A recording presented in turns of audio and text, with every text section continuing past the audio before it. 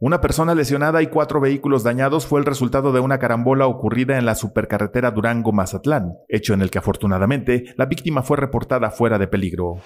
El incidente ocurrió de noche en el kilómetro 110 de la referida vía de comunicación e involucró un total de cuatro vehículos, solo uno de cuyos choferes resultó con golpes de consideración, por lo que fue trasladado a un hospital de la zona para recibir atención médica. Las unidades motrices involucradas en este incidente son un Volkswagen Jetta, conducido por Modesto Ramírez Estrada de 55 años, originario de Mazatlán, una Nissan NP300, en cuyo volante estaba Adrián Maldonado Reina, de 57 años y originario de Torreón, el también mazatleco Ulises Lemus Rangel, de 27 años, que iba a bordo de un Nissan Sentra, y por último, un Kia Forte, conducido por Eduardo Rodríguez Arciniega, de 45 años, y domicilio en la ciudad de Durango, este último, el único lesionado en este incidente de tránsito. Es de apuntar que fueron los vehículos compactos los que salieron con la peor parte, pues el incidente ocurrió mientras el pavimento se encontraba mojado y a raíz de los golpes perdieron la estabilidad necesaria y además de impactar a otras unidades, sufrieron daños causados por los elementos carreteros. De la atención administrativa del incidente se hizo cargo la Guardia Nacional. Con imágenes de Miriam Carrera, informó para Tiempo y Espacio Luis Lozano.